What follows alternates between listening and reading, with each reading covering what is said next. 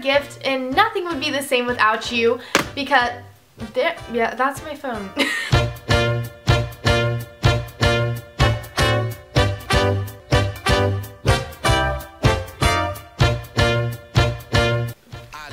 Hey guys, it's Sarah and today I'm here with the topic on confidence. I've been getting a ton of questions on my Twitter, um, Tumblr, Instagram, and YouTube on how to become more confident. So today I have five steps and I would love to share them with you guys. And if you guys like this video and want more videos like this, be sure to comment down below and like this video because I love talking about stuff like this.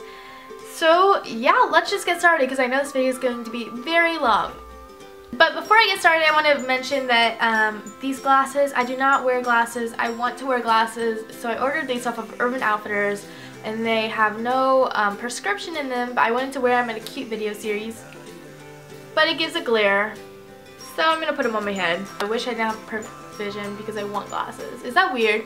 Is that weird? Like, I know a lot of people who don't wear braces want braces because they think they're cute or something. I don't know.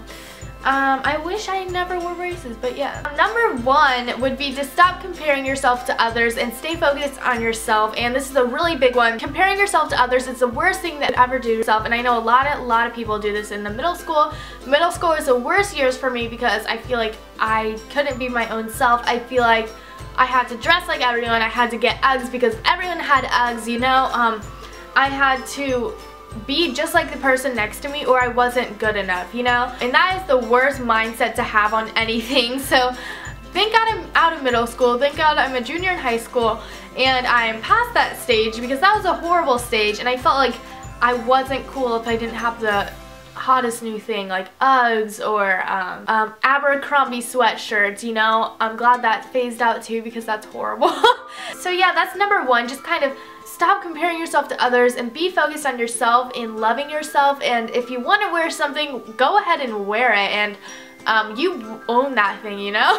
You walk with your head held high and don't put your nose in the air. Don't be more cocky about it. Don't be like, I'm wearing something adorable and you're not. But be like, I like what I'm wearing and if you don't like it then who cares? Like I do not care what you think and that's a really important step on staying more confident is really not caring what other people think of you.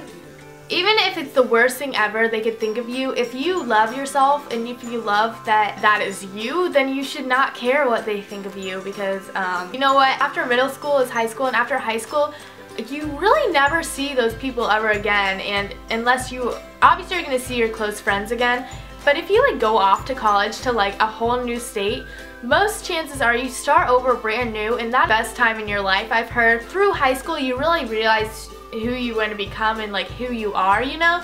And um, most people who go out of high school love themselves and like are really confident in themselves because um, middle school and high school is a age of finding yourself and um, really just like loving yourself, you know, being the person you want to be. So yeah. Number two is to relax kind of just go with the flow and don't stress on the little things. Like, of course, okay, maybe you just got a C on your chemistry test. You know what? You can get an A plus next time if you try harder. Um, stay positive, be optimistic. Um, your friend can't go to the lake house with you this weekend. It's okay, you can bring another friend. It's okay, they can go with you next weekend or something. Like, if you stress on every little thing, I just gotta be in an assignment. Oh my gosh, I hate myself, I hate myself. That is not gonna make you more confident. And um, I know someone, aka myself, who's confident in her schoolwork even though she does not get the best grades. Like I know firsthand, I do not have the best grades known to man, but I try my hardest and that's why I'm confident with my grades even if um, they're not 100% on everything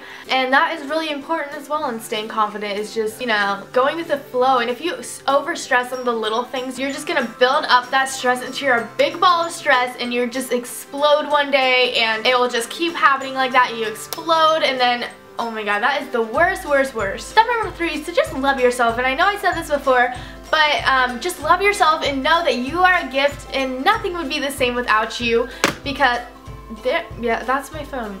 because nothing would be the same without you and um, that is a really cool kind of thing to think about is like if you were not here right now, nothing in the world would be the same. Like that is so weird like um, to think about in general, but you are a gift. You are meant to be different and um, everyone looks different because they should look different. No two people really look the exact same unless they're identical twins or um, you know, there's supposed to be someone who looks exactly like you in the world.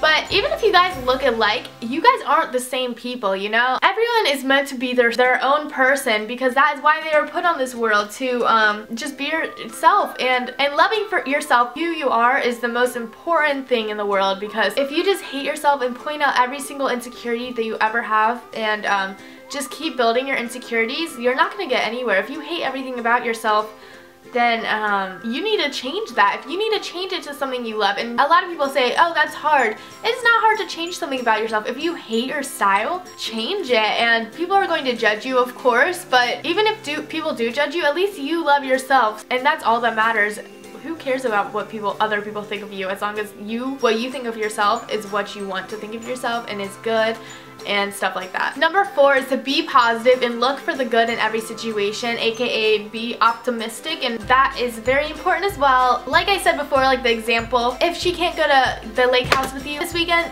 maybe you guys can go next weekend. Like, even if it is a horrible, horrible situation, if you think the better in it, then everything will be okay. And you'll just kind of learn to accept that, even if it's a horrible, horrible thing in your life. And you can move on eventually, as long as you accept it. And for the positive, then everything ends up being okay, you know? Number five steps to being confident is to just do what you love. And um, no matter what it is, one thing I did when I was in the 8th grade is I started a YouTube channel and I had to be a pretty confident girl to start a YouTube channel. And yes, when I was in the ninth grade, I cried one day because someone found out about a YouTube channel and was like whispering to her other friend and like giggling at me.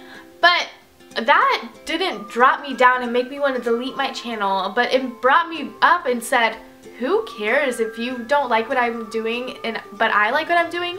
You don't matter to me, you know? Even that sounds really bad, but it's really true. And if you love what you're doing, really just don't care what other people think because life is too short to just keep caring what other people think and not living the person you want to live. If you do something that you don't love, then you're never going to be confident in it because you're never going to be satisfied with what you are doing and who you are as a person. So yeah, that is my five steps to staying confident and I hope you enjoyed it. if you did, please be sure to give it a thumbs up or comment down below and um, if you want more videos on like topics like this, just let me know. And I would love to do this because I love talking to you guys even though I ramble on forever and you guys probably hate my talking videos. But yeah. Um, thank you guys so much for watching. I hope you enjoyed and I will talk to you guys later.